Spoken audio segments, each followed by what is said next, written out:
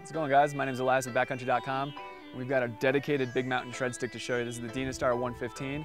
It's uh, a continuation of the Legend line, unchanged from construction last year, but updated from the Legend series that made this so popular. Rocker in the nose, a common story this year. About 35% of the length of the ski is rockered. So you can see just a little bit of early rise. And we get a lot of camber with a ski like this for a lot of pop and edge hold.